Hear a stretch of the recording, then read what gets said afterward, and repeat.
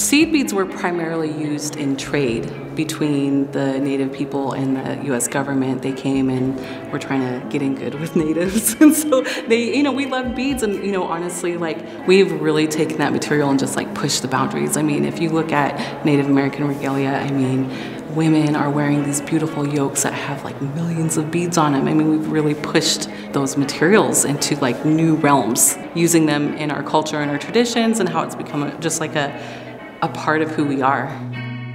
I describe myself as a multidisciplinary artist, so I kind of move within many different mediums.